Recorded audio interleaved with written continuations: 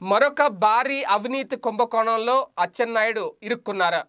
ఇప్పటికే ESS స్కామ్తో jail పాలైన అచ్చెన్నాయుడు మీద మరొక అవినీతి కుంభకోణం ఆరోపణలు వినిపిస్తున్నాయి. తాజాగా ఈ కుంభకోణానికి సంబంధించి విచారణ కూడా జరుగుతోంది.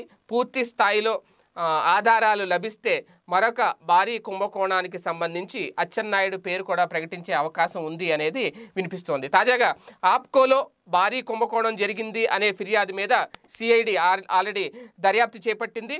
చంద్రబాబు గారి హయాంలో ఆప్కో చైర్మన్గా పనిచేసిన కడప జిల్లా కాజీపేటకు చెందిన గుజ్జల్ల శ్రీనివాసులు ఇల్లు అలాగే ఆఫీసును కూడా సిఐడి అధికారులు ఆల్రెడీ సోదాలు చేశారు.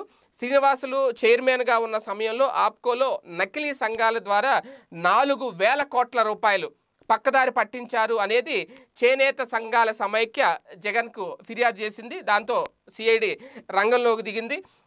ఈ అవినీతి జరిగిందా లేదా అనే అంశాన్ని సిఐడి ఇప్పుడు చాలా క్షుణ్ణంగా పరిశీలిస్తుంది. త్వరలోనే బయటకు వచ్చే అవకాశం ఉంది. అయితే ఇప్పుడున్న సమాచారం ప్రకారం గత ప్రభుత్వ సమయంలో తెలుగుదేశం పార్టీ ప్రభుత్వ సమయంలో అచ్చెన్నాయుడు గారు జౌలి శాఖ మంత్రులుగా కూడా బాధ్యతలు నిర్వర్తించారు. రెండు వేల పదిహేడులో చంద్రబాబు గారు మంత్రివర్గ పునర్వ్యవస్థీకరణ తర్వాత అచ్చెన్నాయుడు గారికి రవాణా అలాగే బీసీ సంక్షేమం చేనేత జౌలి శాఖలు కట్టబెట్టారు.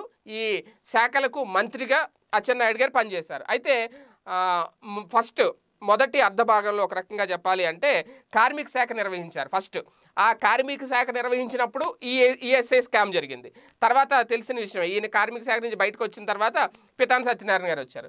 అయితే ఆ తర్వాత ఈయన ఈ శాఖలకు మంత్రిగా పనిచేశారు. అంటే రెండో అర్ధ భాగంలో చేనేత శాఖకు సంబంధించి ఆయన మంత్రిగా పనిచేశారు. అప్పుడు ఈ నాలుగు వేల కోట్ల రూపాయల అవినీతి జరిగింది అనేది ఇప్పుడు ప్రధానంగా అందిన ఫిర్యాదు ఆ ఫిర్యాదు నేపథ్యంలోనే సిఐడి ఇప్పుడు రంగంలోకి దిగింది. అయితే ఈ విచారణ సిఐడి చేస్తున్న విచారణ పూర్తయ్యే లోపు ఈ అవినీతి ఒకవేళ అచ్చెన్నాయుడు గారి మీద పడుతుందా లేదా?